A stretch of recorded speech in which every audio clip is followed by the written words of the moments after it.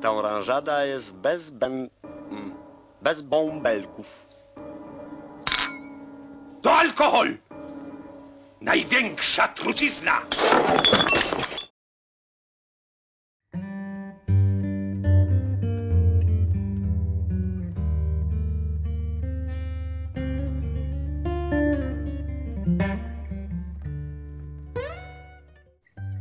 Historia gorzelnictwa i produkcji alkoholu na terenie ziemi lwóweckiej stanowi ciekawe zagadnienie, aczkolwiek dotąd nienależycie zbadane. Wiemy, że już w wiekach średnich lwóweccy mielcarze mieli swój cech, a piwo, które wówczas wytwarzano, miało bardzo dużą renomę i swym smakiem cieszyło nie tylko najbliższe okolice.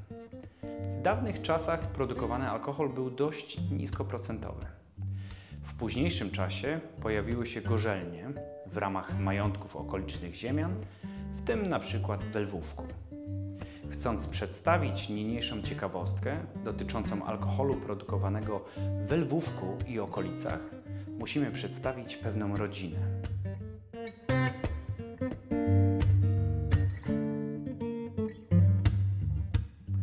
Rodzina Foreckich, bo o nich mowa, zamieszkiwała Lwówek od co najmniej XIX wieku. Od początku znana była ze swej zaradności i przedsiębiorczości. Jednym z przedstawicieli tego rodu był Wincenty Forecki, syn Stanisława i Teofilii z domu Walczakiewicz.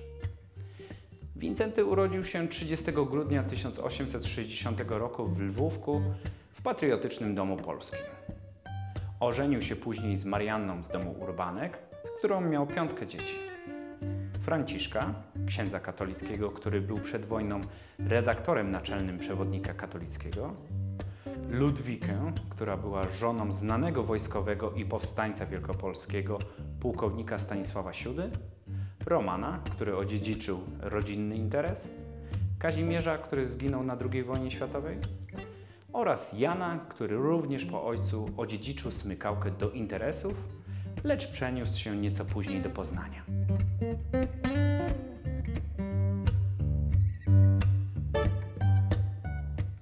Wincenty Forecki co najmniej od początku XX wieku prowadził restaurację w kamienicy przy ulicy Pniewskiej, obecnie to budynek pod numerem 5, oraz wytwórnię wódek i likierów na ulicy Świętojańskiej, obecnie znajduje się tam sklep meblowy. Sam był osobą bardzo aktywną społecznie. Był jednym z założycieli Towarzystwa Przemysłowców w Lwówku. Co ciekawe, wytwórnia wódek i likierów W. Forecki działała tylko do końca lat 20. XX wieku. Było to za sprawą przyjęcia monopolu na produkcję alkoholu przez polskie państwo. Szkoda, że tym jednym ruchem przekreśliło się tradycje lokalnych wytwórni alkoholi w przeciwieństwie do praktyk, jakie mają miejsce na przykład w zachodniej Europie.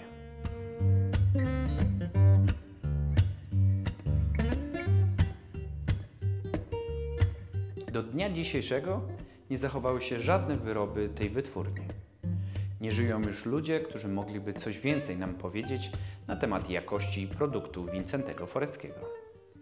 Pozostały jednak trzy etykiety, które zostały znalezione po 90 latach na strychu jednej z kamienic w Lwóweckim rynku. I tak pierwsza prezentowana etykieta przeznaczona była do butelki o pojemności 1 litra, w której serwowano wypalankę winną mieszaną z dodatkiem prawdziwego koniaku francuskiego. Napój ten miał moc 38%. Był to wyrób własny wytwórni Foreckiego.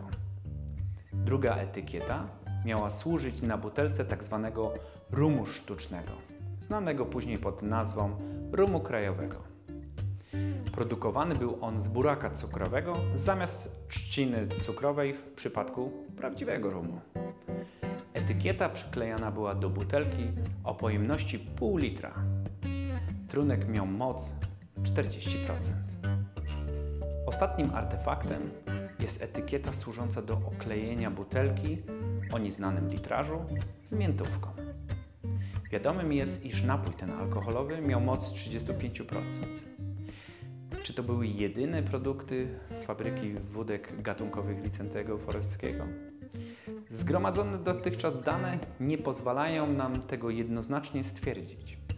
Być może Państwo posiadacie jakieś pozostałości po pracy opisywanej w wytwórni Foreckiego. Wszystkich tych, którzy posiadają choćby strzępki informacji na ten temat, prosimy o kontakt z naszym ośrodkiem pod adresem e-mail historia.lwowek.com.pl czy pod numerem telefonu 692 261 557 lub poprzez nasze media społecznościowe. Dziękuję Państwu za uwagę.